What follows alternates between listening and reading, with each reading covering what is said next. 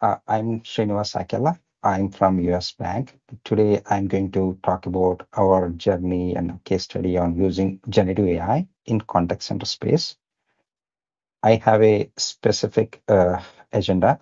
I'm going to spend some time uh, sharing about US Bank. What do we do as an organization? And our contact center journey in terms of cloud migrations. And then talk about the problems that we think we could solve with generative AI and the lessons we're learning from the pilots that we, we are doing in production and the key takeaways and next steps. With that, I, I'm going to talk about US Bank. US Bank is a fifth largest uh, financial bank in, in United States, and we are currently headquartered in Minneapolis, Minnesota. We do support uh, various business lines like consumer clients, business banking clients, institutional banking and wealth management. We, we have presence in 13 countries uh, globally, uh, including uh, Canada, US, Europe, and we have around 70,000 employees helping various various uh, clients and customers. Our retail branch uh, uh, presence within US is 2,000 branches across East, West, and South. And our current metrics, our assets as of last year are 27.5 billion. Like, like any other financial organization, we help our customers, we interact with our customers in various channels like digital branch banking as well as contact center. Today, I'm going to talk about the contact center engagement with our clients and highlight the journey to Amazon. So back in back in 2019, just just before COVID, we started uh, exploring options to migrate our legacy monolithic contact center or infrastructure to cloud-based solution. And we started that journey with 2019. And with COVID, we had to have solutions where our agents can help the customers by working remotely at home. So our journey to Amazon Connect started in 2019, and we do have around 100 plus global contact centers. So it's a, it's a massive contact center. And it took us a while to migrate all these contact center while improving the customer experience, building voice bots, and adding a lot of self-servicing capabilities in voice as well as chat channels. In 2024, we migrate, we completed the migrations to Amazon uh, Connect and we started focusing on transforming our contact center for better customer experience as well as agent experience or employee experience as well as operations optimizations or operations efficiencies. So this year 2025 we started with uh, we, we started with exploring generative ai and the reason why we we we, we think generative ai is a great technology for contact centers is we have some specific challenges in contact centers. Unlike other, other channels of engagement in contact centers, we need to provide the customer's service in real time, right? And agents needs to answer or resolve the customer issues in real time by navigating to multiple knowledge bases, multiple systems of record, and multiple CRMs.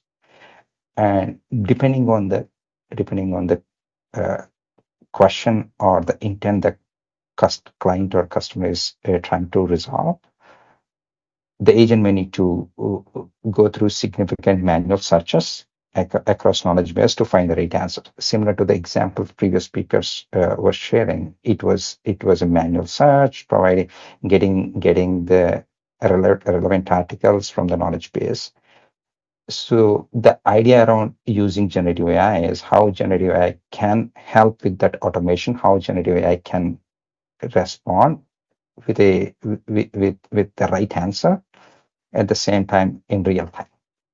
So unlike other channels of engagement like chat, in voice channel like contact center or customer service center, we we need to take voice as an input and provide that uh, provide answers in in voice. So it, it is not just a knowledge search problem. It is also a problem with uh, latency and voice transcription. Uh, and other challenges uh, is after even after the call uh, completion or conversation conversation completion, the agents also needs to do a lot of case management and case case creations, and they do all that manually by summarizing the customer interaction, note taking, and all that. And today, before generative AI, it, it was all manual, and agents are spending a lot of time. And the third problem that we are also trying to solve with generative AI is because because the agents or the employees are skilled on specific uh, intents or specific job aids. If the customer has an additional question or additional intent that they need help with, they transfer the calls to other agents, which will increase our call handling times and obviously the cost and also the CSAT scores because now customer needs to wait for more time to get the answer they're looking for. Like like I explained, that generative AI can address most of this these problems, and this is how we think generative AI is powerful. To search the knowledge base, uh, interact knowledge bases, and get the answers, we can use LLM and semantic search or similarity search to generate the right recommendation. And generative AI will also help us to provide the coaching and training for the agents in real time with real-time transcription and providing suggestions to the agents when they're trying to help the customers. It's it's it's all could happen in real time. And because the age the generative AI can search against various knowledge bases, now you do not have to transfer the calls to another agent. The same agent uh, likely answer the call, and that would improve our transfer rates. And for the note taking and summarization, generative AI can take the entire conversation transcript as an input and summarize the conversation. And we can even customize the summarization depending on whether the agent wants to send an email for a follow up, or they want to create a case, or they want to uh, use that information for callbacks. So with, that, uh, we, we explored a couple of solutions with Amazon right? We initially looked into using Amazon Bedrock knowledge bases for solving these knowledge base agents. However, because this is a voice channel, the number one problem that we also want to solve is the latency. As an example, when, when a caller or a customer is interacting with a human, an agent, we need this AI to provide the answers in real time, right? Because if, if there is a latency, then the recommendation may not be useful for the agent and obviously for the customer. So just before agent can use uh, their cognitive skills, the AI needs to provide an answer in real time. So that was a, a critical requirement for, for this use case. Uh, for that, instead of just using Bedrock, we, we used two Amazon services or solutions. One is Amazon Contact Lens, which can uh, transcribe the calls in real time and generate the real time analytics or speech analytics and provide the high level issue in terms of what customer is talking about. And the second, and sorry, I, I hear a little bit of background noise. Sorry if you can go on mute, that would be great. The second AWS solution that we we used in this in this solution is Amazon Q in Connect, which is the core generative AI orchestrator here, which basically takes the transcripts from contact lens and then uses that transcript to see if there is any intent. For example, during a conversation, not every everything that customer is speaking or agent is uh, speaking may may be an intent, may not be an intent. Maybe it's just an uh, information.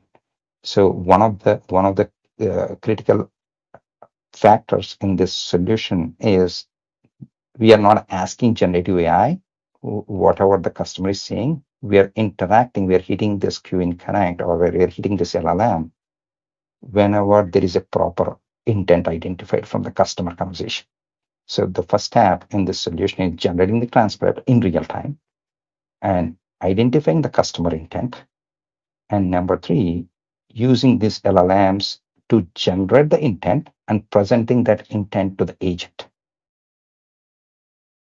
Then the agent will choose whether they want an answer or recommendation for the intent.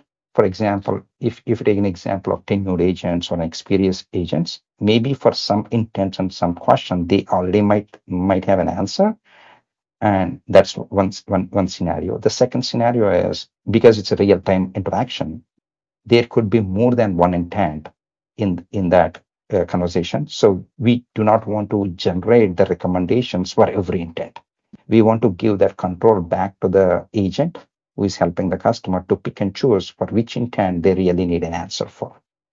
So that's why if you look at it, it's a two-step process. One, the Q in Connect will generate the intent and present it back to the agent.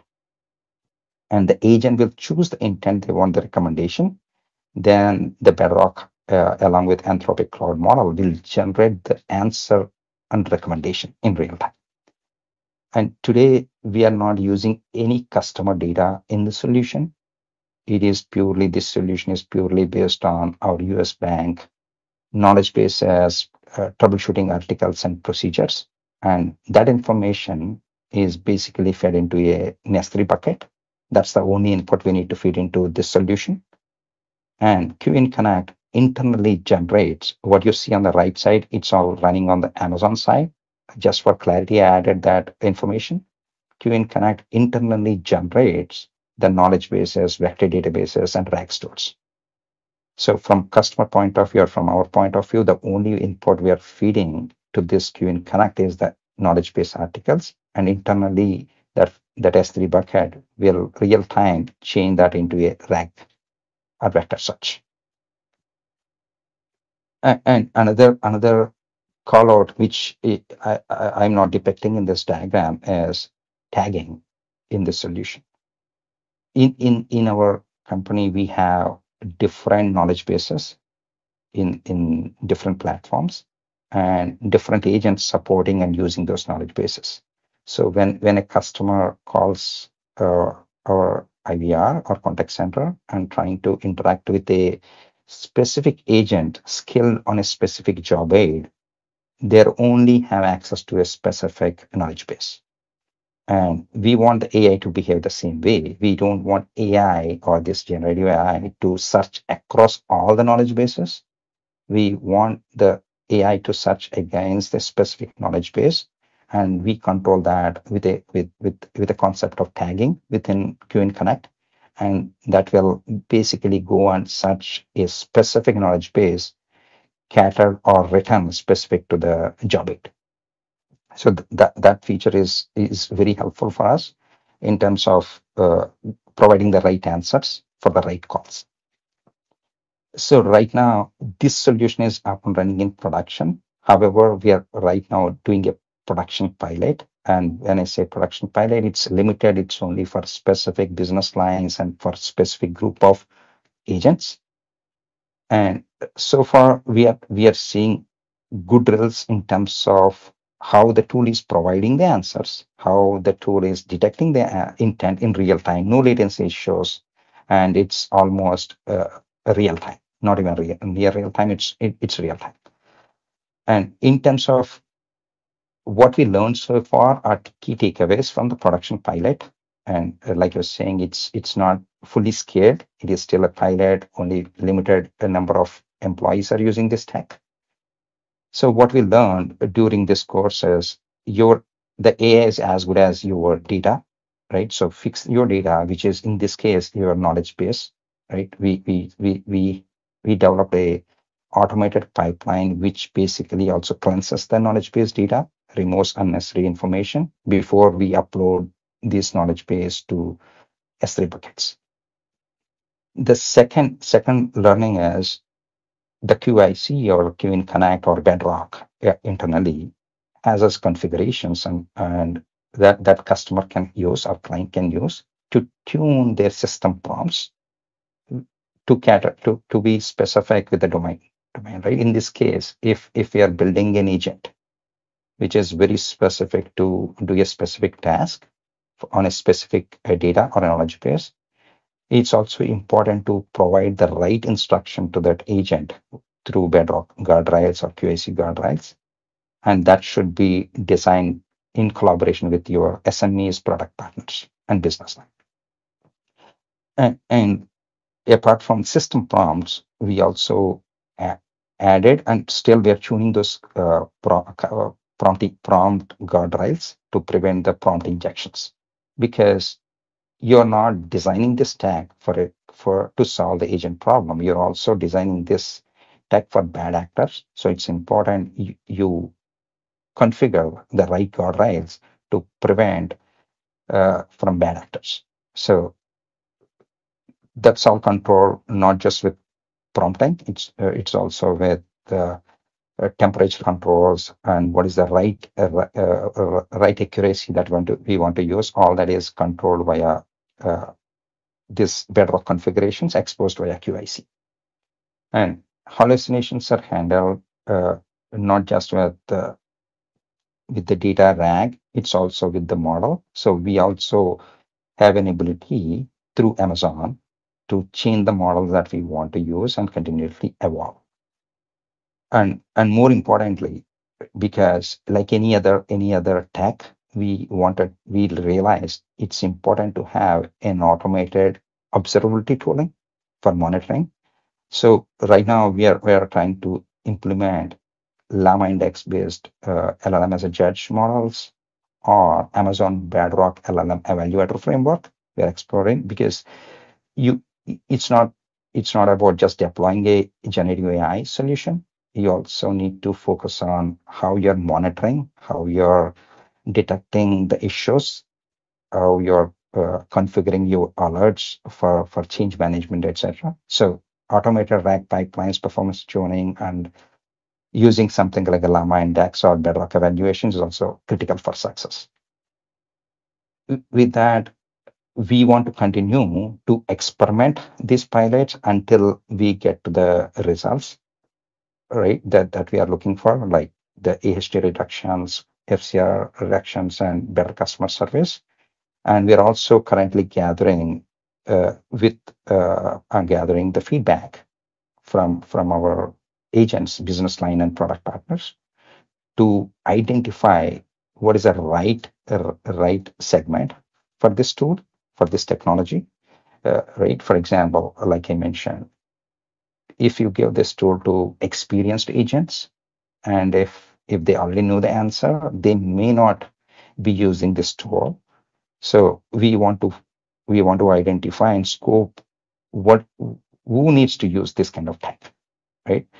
That's that's an exercise we are continue doing it, and we are going to continue to model the performance so that we can scale this solution to enterprise contact center uh, right now that option is limited, but we want we would like to uh, expand, but for that we we need to monitor in real time.